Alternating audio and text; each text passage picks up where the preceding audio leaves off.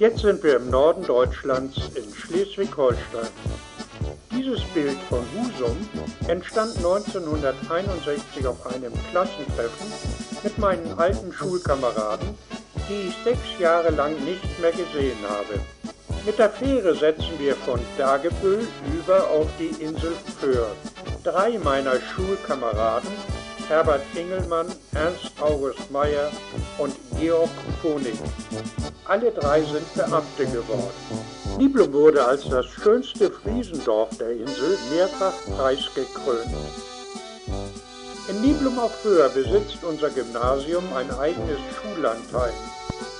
Jede Klasse fuhr einmal im Jahr für 14 Tage dorthin und bei schönem Wetter fand der Unterricht im Freien statt. Der Herbergsvater zeigt uns, wie die Räume jetzt aussehen. Die Toiletten und Waschräume befinden sich noch immer außerhalb des Hauptgebäudes. Zumpes Eissalon direkt neben dem Schullandheim gibt es auch noch. Hier haben wir früher unser gesamtes Taschengeld gelassen. Der sogenannte Friesendom St. Johannes in Niblum, ein kreuzförmiger Backsteinbau, ist die größte Kirche auf der Insel.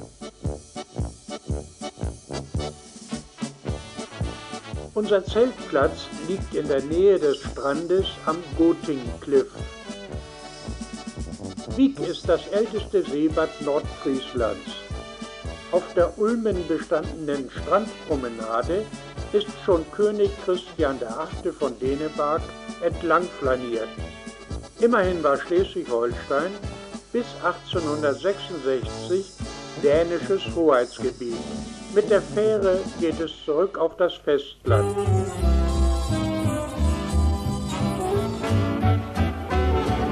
Nun ist mein Seesack wieder klar, das Schiff liegt schon bereit. Tschüss, mein Herrn, bis übers Jahr, zwar auf dein Hochzeitskleid. Und nun lass doch 1966 setzen wir zum ersten und einzigen Mal nach Helgoland über. Im Bild der Fähranleger in Büsum. Einmal nach noch Die Überfahrt ist stürmisch und viele Passagiere werden seekrank. Oder nach Hawaii, einmal durch den Suez und durch den Panama. Wieder nach St. Pauli, nach mein Hamburg-Altona. Johnny, Johnny, Johnny, Johnny, bald sind wir wieder da. Wieder in St. Pauli, in Hamburg-Altona.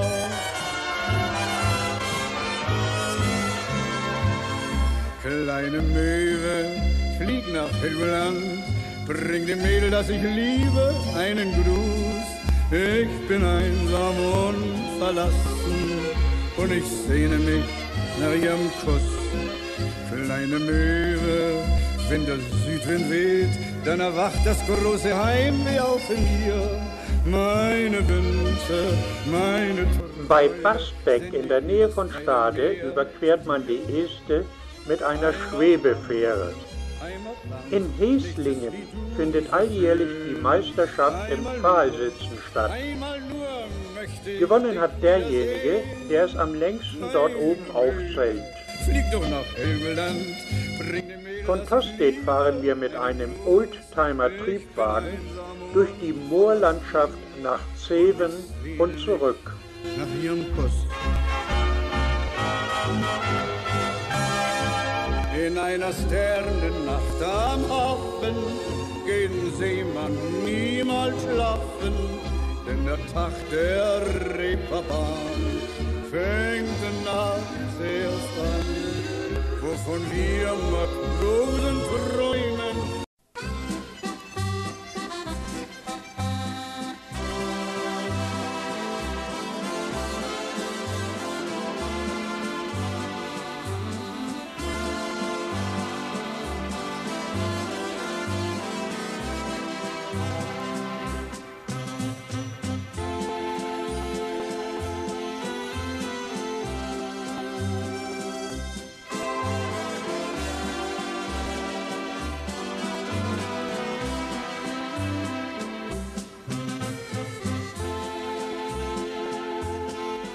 Scharnebeck, unweit von Lüneburg, überwinden die Schiffe den Höhenunterschied des Elbe-Seitenkanals zwischen Geest und Marsch nicht über Schleusen, vielmehr wurde hier ein riesiges Schiffshebewerk gebaut.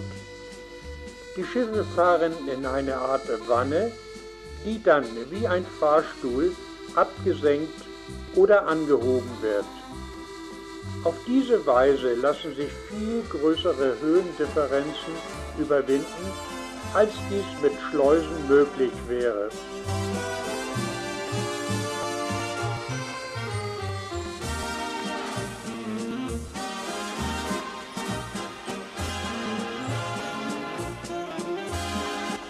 In Doren wohnen wir von 1976 bis 1980.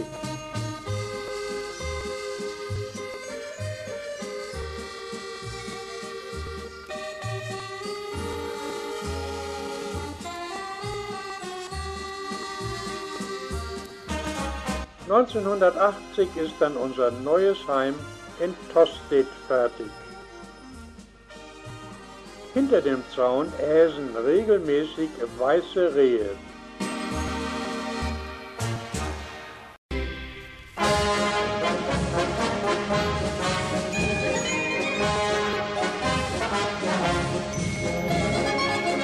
Das Haus meiner Eltern im Basedow direkt am Elbe-Lübeck-Kanal.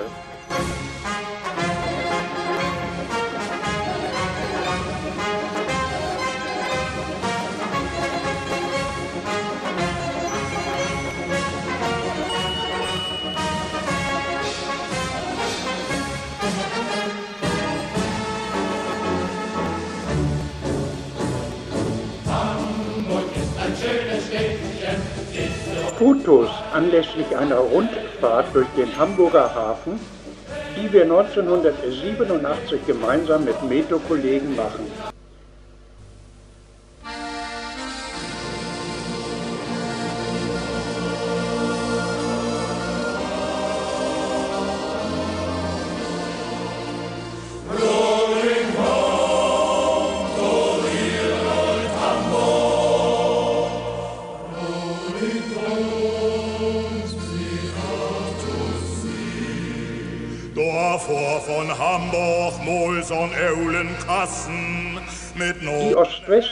Ost-West-Straße und der Michel im Jahre 1961. Dat leed man als mit oben stone. Rolling home,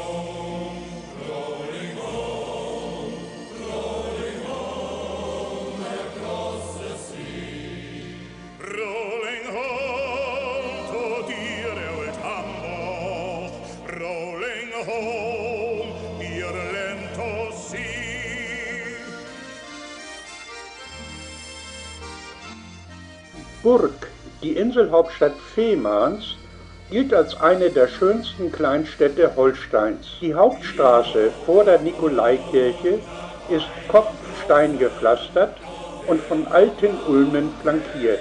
Mit 185 Quadratkilometern ist Fehmarn die größte westdeutsche Insel und nach Messungen der Meteorologen eines der regenärmsten Gebiete Deutschlands. Man findet hier auch heute noch wenig überlaufene Naturstrände. Diese Segelwindmühle entstand im Jahre 1787 und ist heute die einzige in Deutschland noch existierende. In Landkirchen steht diese gotische Backsteinhallenkirche aus dem 13. Jahrhundert mit dem separat stehenden hölzernen Glockenturm.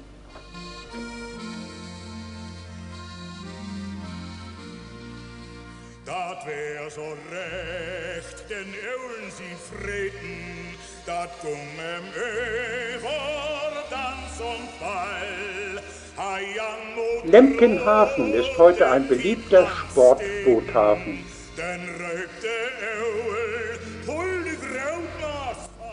Aufnahmen von den Karl-May-Festspielen in Bad Segeberg.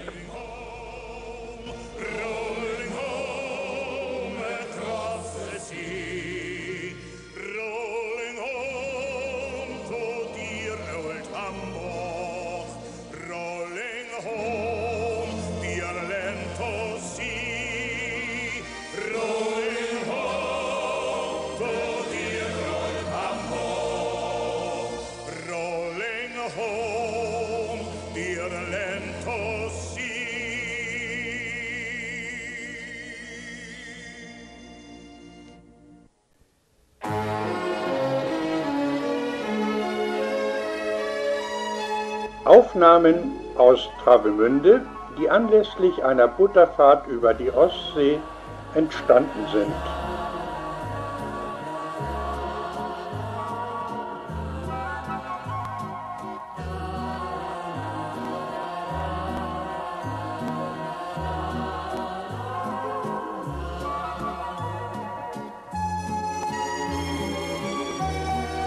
Anfang September 2010 machen wir einen Kurzurlaub. Von Berlin kommend fahren wir über Hamburg und Bremen in Richtung Bad Zwischenahn. Dies sind Fotos des Bremer Schnurrviertels.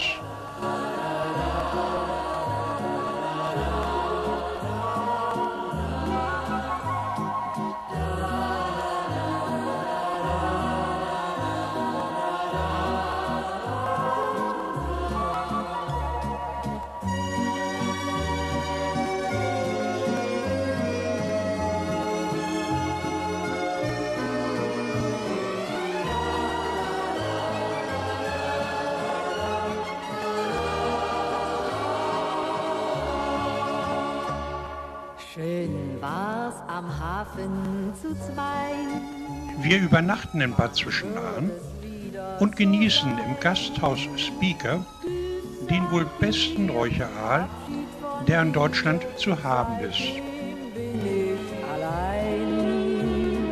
Einsam in Luf und in Lee, einsam auf stürmischer See.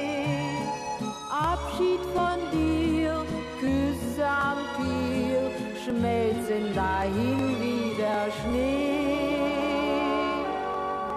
Kleine weiße Möwe über Meer und Land, bringst du einen Gruß mit fern vom Elbestrand.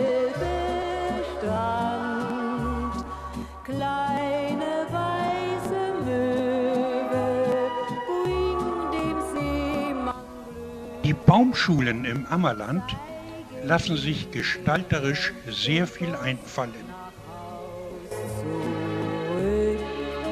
Ja, kleine weiße Möwe, schützt uns vor Gefahr.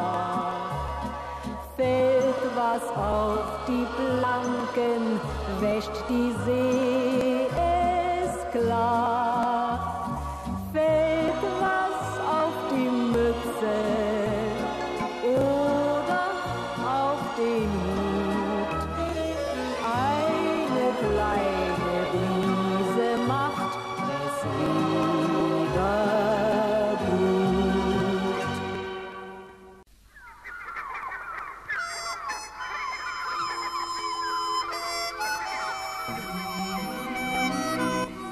Diese Teestube ist Teil eines Moormuseums.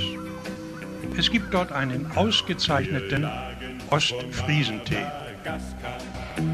und hatten die Pest an Bord in den Kessel. Im März 2011 übernachten wir ein weiteres Mal im Seehotel Fährhaus in Bad Zwischenahn. Zu den prominenten Gästen des Hauses zählt unter anderem Günter Jauch.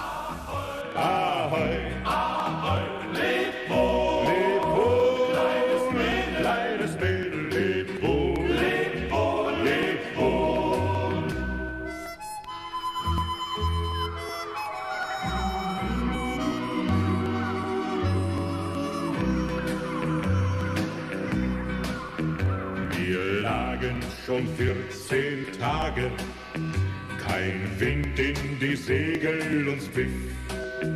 Der Durst war die größte Plage, dann liefen wir auf ein Riff.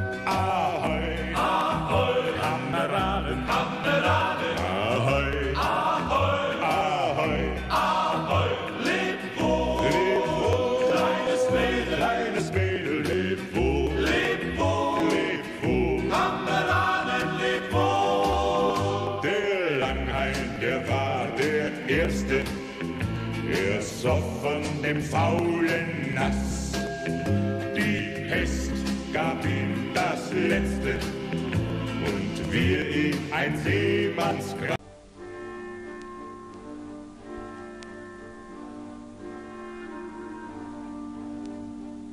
Die folgenden Bilder entstanden in den neuen Bundesländern während der ersten Monate nach der Maueröffnung. Hier zunächst der Berliner Dom. Das restaurierte Nikolaiviertel in der Nähe des Alexanderplatzes stand im Jahre 1556. Das Völkerschlachtdenkmal zur Erinnerung an den Sieg der Österreicher, Russen und Preußen über die französische Armee im Jahre 1813. Die Fußgängerzone in Weimar. Das Goethe-Schiller-Denkmal vor dem Weimarer Nationaltheater.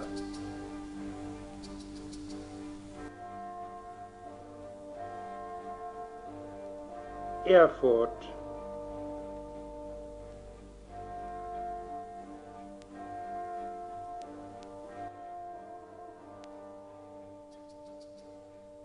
Die Semperoper in Dresden, die 40 Jahre nach ihrer Zerstörung im Jahre 1985 wiedereröffnet wurde.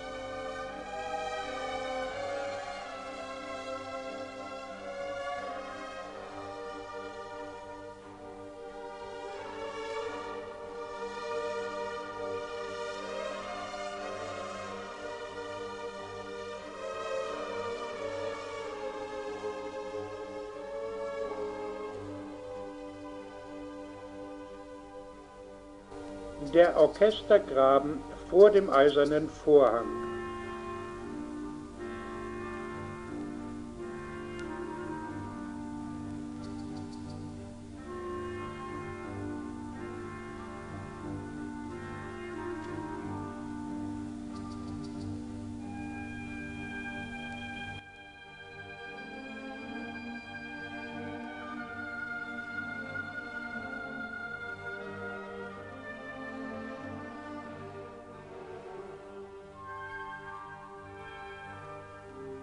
Der Hafen von Sassnitz auf Rügen.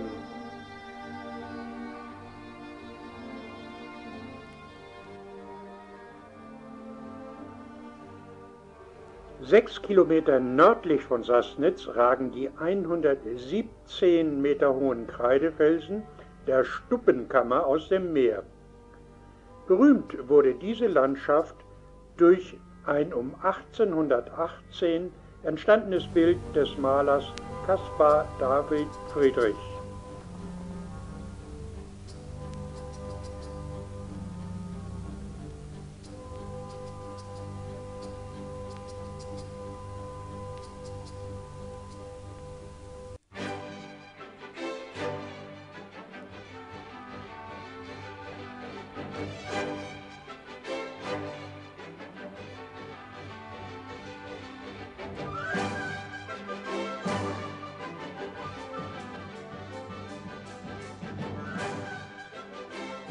Der Leuchtturm des Kap Arkona steht 50 Meter über der Meeresoberfläche. Während einer Kutterfahrt sehen wir den mächtigen Kreidefelsen von See aus.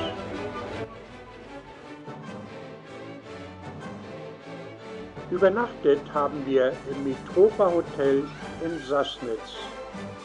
Im September 2005 fahren wir von Prag nicht direkt nach Hause, sondern nehmen den Umweg über Dresden. Wir wollen die wiederhergestellte Frauenkirche besichtigen. Diese Besichtigung müssen wir leider verschieben, denn der Innenraum ist damals noch nicht zugänglich.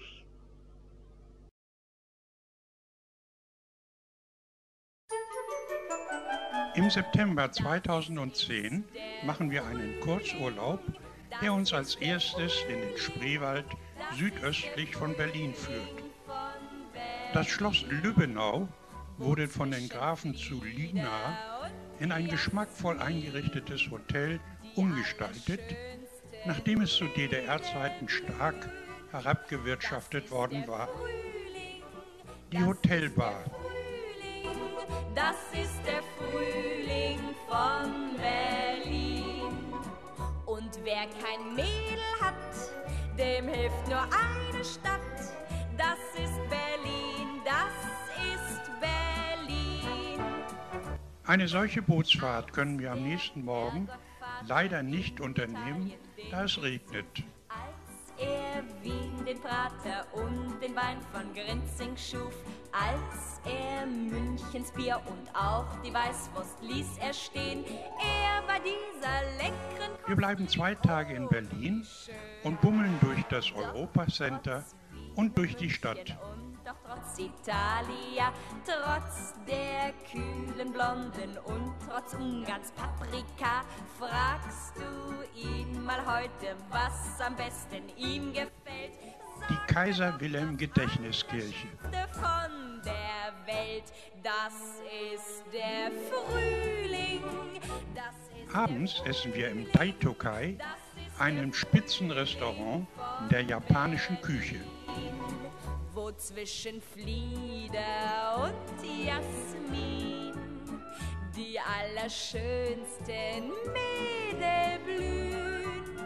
Das ist der Frühling, das ist der Frühling. Den nächsten Tag verbringen wir ab 10 Uhr im KDW.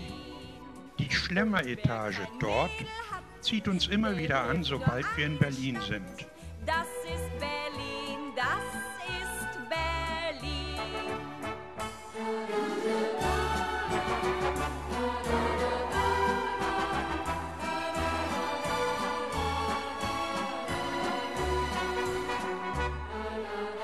Als erstes lassen wir uns an der Cocktailbar nieder. Nirgendwo in Deutschland gibt es so frische und so schmackhafte Langusten wie im KDW. das ist der Frühling von Berlin. Und wer kein Mädel hat, dem hilft nur eine Stadt. Das ist Ich Berlin, genieße anschließend ein halbes Dutzend Austern, während Hertha durch das Kaufhaus bummelt.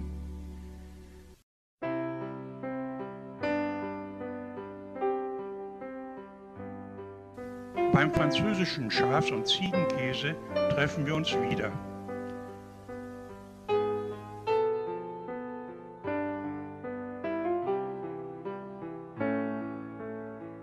Hertha genießt zum Abschluss ihren Eisbecher und ich einen Pfannkuchen mit Ahornsirup. Die Nacht verbringen wir im Interconti Hotel.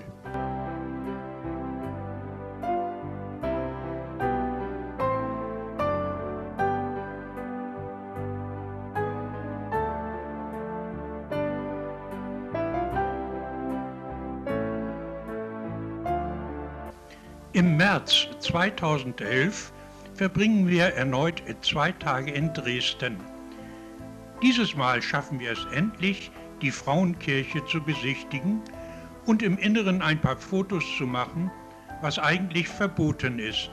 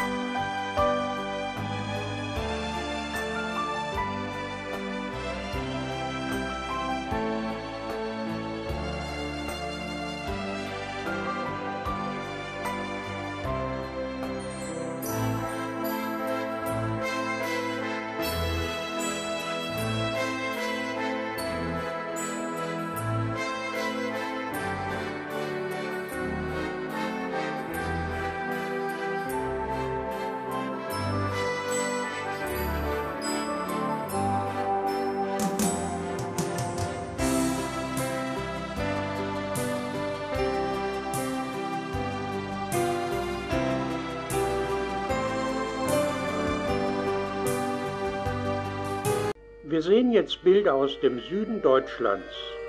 Hier zunächst die Burg Nellenstein in der Ostalb. Sie liegt landschaftlich reizvoll auf einem 70 Meter hohen Felsen oberhalb der Stadt Heidenheim. Im Eurotel Bayersbronn habe ich im April 1969 meine erste IBM-Schulung erhalten.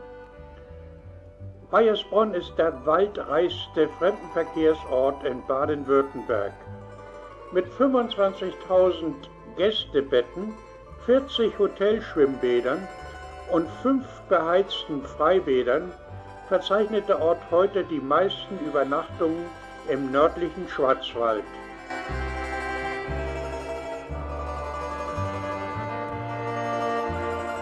Freudenstadt war gegen Ende des Zweiten Weltkrieges fast vollständig zerstört worden und wurde danach im ursprünglichen Stil wieder aufgebaut. Der Marktplatz ist 220 mal 215 Meter groß und die Häuser rundum durchweg mit Arkaden versehen. Das Zeughaus steht im Zentrum des Marktplatzes. Das Tal der Wolf bei Wolfach auf der Schwarzwald-Hochstraße. Holländische IBM-Kollegen am Titisee.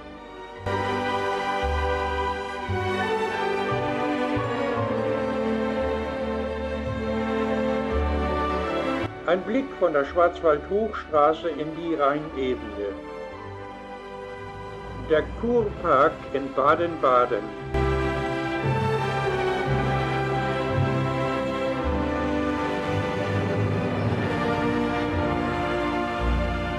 Ein Blick von dem Aussichtspunkt Rote Lache ins Murgtal.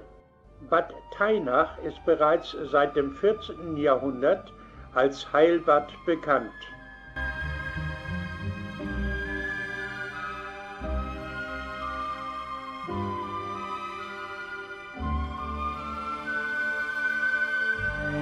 So sah es 1969 noch auf dem Stuttgarter Killesberg aus.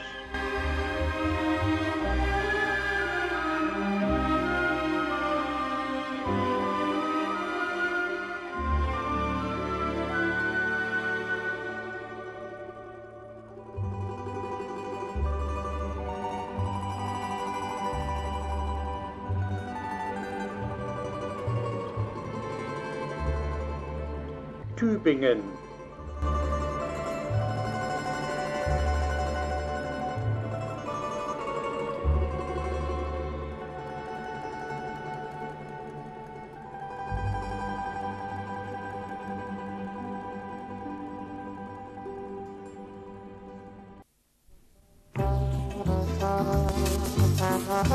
Der Blick vom 869 Meter hohen Rossberg auf die Stadt Gröningen. Die Burg Liechtenstein, südlich von Reutlingen gelegen, ist ein Wahrzeichen der Schwäbischen Alb. Sie wurde erst 1842 von Wilhelm Graf von Württemberg eingeweiht.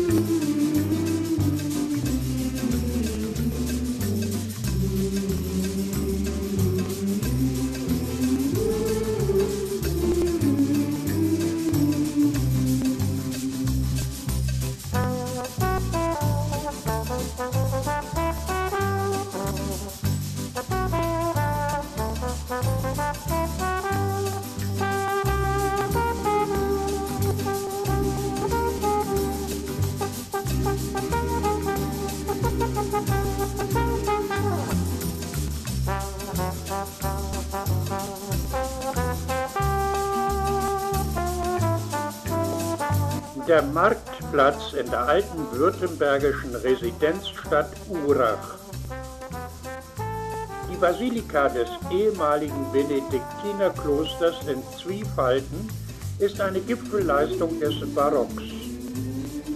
Die Kirche wurde zwischen 1739 und 1765 erbaut.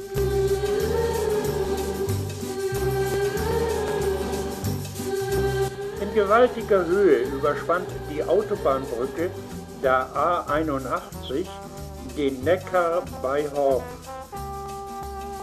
In der Nähe von Horb liegt Schloss Weitenburg oberhalb des Neckars.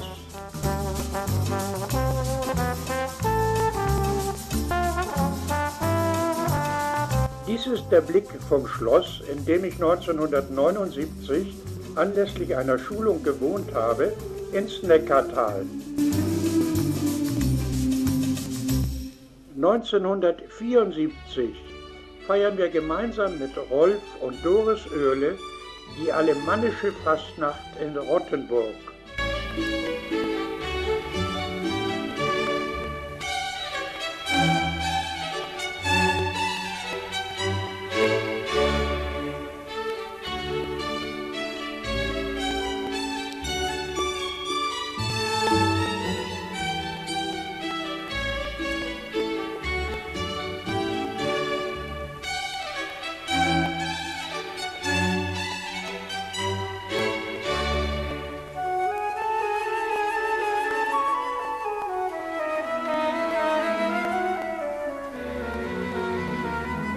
In dem kleinen Städtchen Maulbronn im Kraichgau steht diese ehemalige Klosteranlage.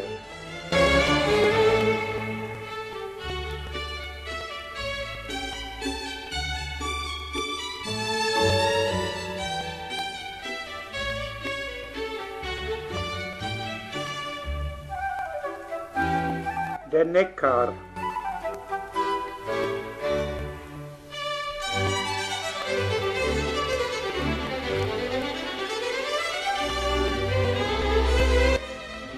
Städtchen Michelstadt wird als das Herz des Odenwaldes bezeichnet. Das kleine spätgotische Rathaus entstand 1484.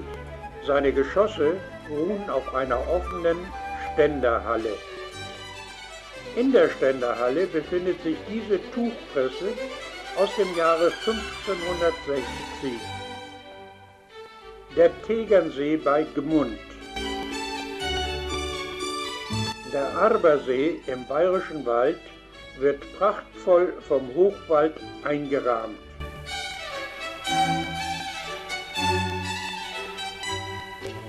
Mit 1456 Metern ist der große Arber der höchste Gipfel des Bayerischen Waldes. Der kleine deutsch-österreichische Grenzübergang bei Burghausen in Niederbayern. Die Grenze wird hier durch die Salzach gebildet. Unser Hotel liegt mitten in der schönen Altstadt von Burghausen. Vom Hotelzimmer blicken wir direkt auf den Grenzübergang.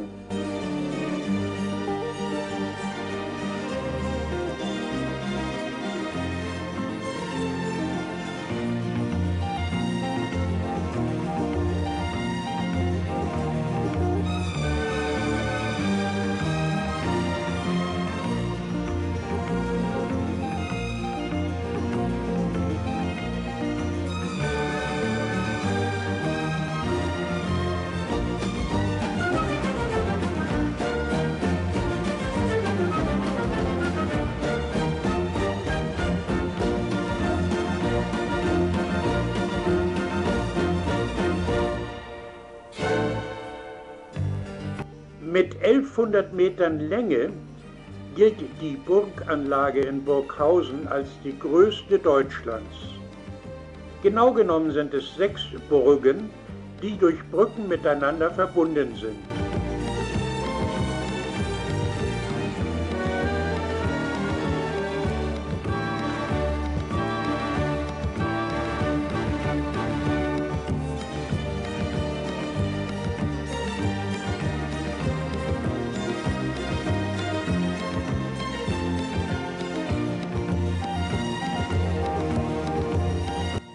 2700 Meter hohe Watzmann ist das Wahrzeichen des Berchtesgadener Landes.